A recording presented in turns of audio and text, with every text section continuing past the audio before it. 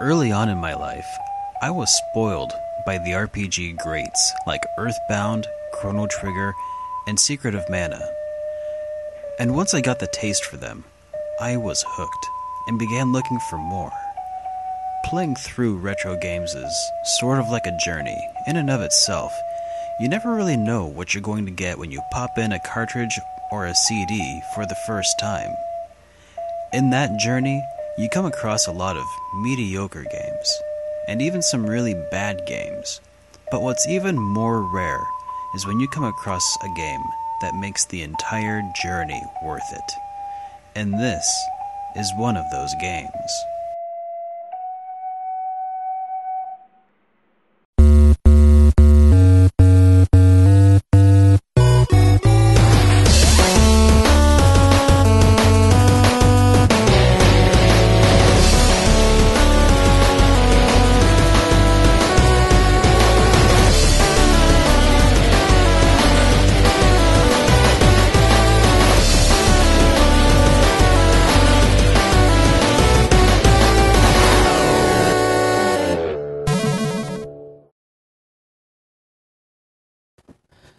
Welcome back to the Game Collection. I am Super Derek, and this is Lunar, the Silver Star story complete.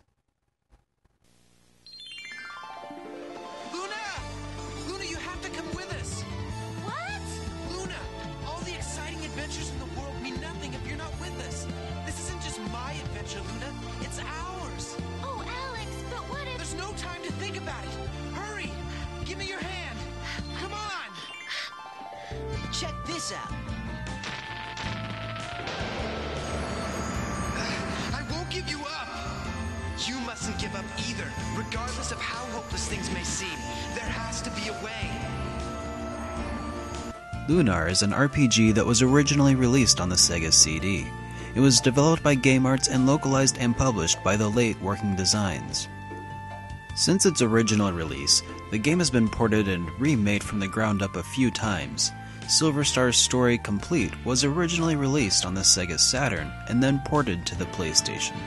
To paraphrase the words of Kei Shigema, while each release of the game tells the same story, the PlayStation is perhaps the best storyteller of them all.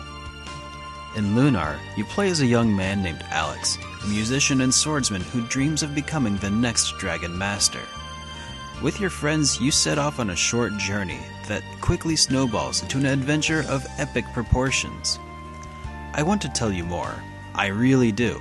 But more than that, I want to not spoil the adventure for you, because Game Art's primary objective when making this game was to tell a story. And to their credit, the story of Lunar may in fact be the best love story ever told through the medium of video games. That's right, this game is a beautiful love story. So if you're too macho or too jaded to admit that you've got a heart, this game may be a bit too much for you to handle. But if you are a hopeless romantic, brace yourselves, because the feels are coming.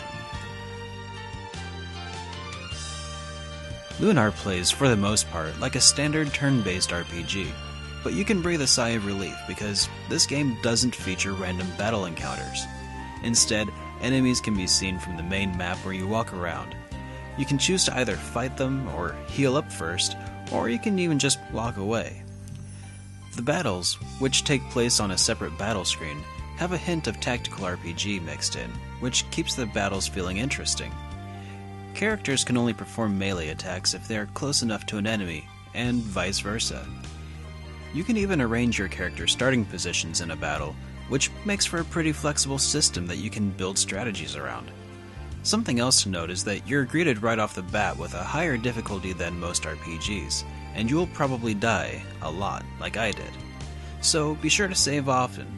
This game offers a good challenge the whole way through.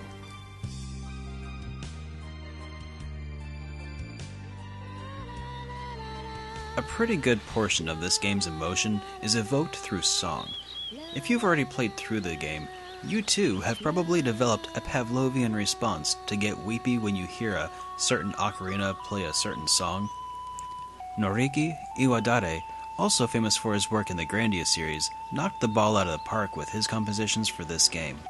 The voice acting within the game is also quite good, though since it's a PlayStation game, the voice acting is a bit limited.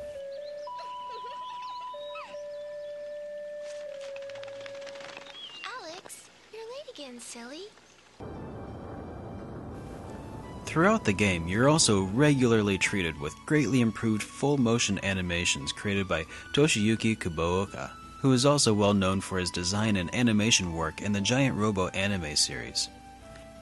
Outside of the animations, I think that some of the scenes within Lunar are perhaps some of the best looking visuals on a 2D top down RPG that I've seen. Since the game was released, it's also received ports to the Game Boy Advance as Lunar Legend, and to the PlayStation Portable as Lunar Silver Star Harmony. Lunar has also received a sequel, Lunar 2 Eternal Blue. Prequels have also been made and released for the Game Gear and Sega Saturn, but were never brought to the United States, though we did receive the latest prequel, Dragon Song, for the Nintendo DS in 2005. There are two versions of the PlayStation release of Lunar The Silver Star Story Complete. The two disc version can be bought for about $25 and contains only the game, which spans two discs. The four disc version contains both game discs, a making of video disc viewable only on the PlayStation, and a soundtrack. In addition, you also get a hardcover manual, a cloth map of Lunar, and a nice box to store everything in. A complete copy of this will probably run you about $60, but it makes for a really nice collector's piece. Lunar has easily found its way into my heart and into my top list of RPGs of all time. And it's perfected the art of weaving a story that just leaves you wanting more. And there is a sequel, so that's awesome, and I can't wait to review it. But first, I've got some requests to fulfill next time on the Game Collection.